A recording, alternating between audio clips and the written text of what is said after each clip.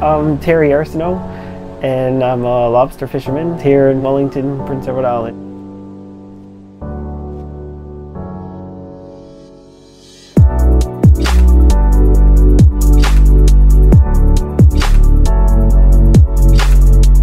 Anything's possible, anything can happen to the, to the boat, and it's you got all your money and investments all in it, so you might as well try to make it safe as you can.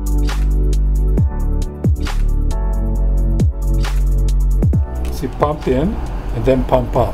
Okay. We'll pass it there, and then your switch has alarm, high water alarm. Mm-hmm. So if it gets overwhelmed, the pump gets overwhelmed, or it doesn't work, this alarm will go on because it will detect the water for more than three seconds okay. about the pump.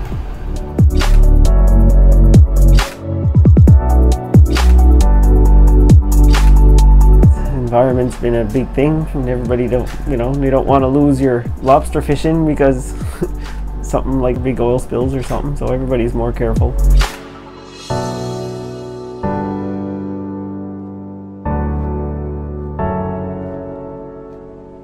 This is the battery sensor. This doesn't draw any current on your starter battery. So Oh, okay. it's, we just passively sitting there, uh, probably less than a few milliamps, if that. This will be your uh, temperature and door open and closed. So tho- those three sensors will be handled by this gateway. That's going to connect to the 3G network locally here. oh okay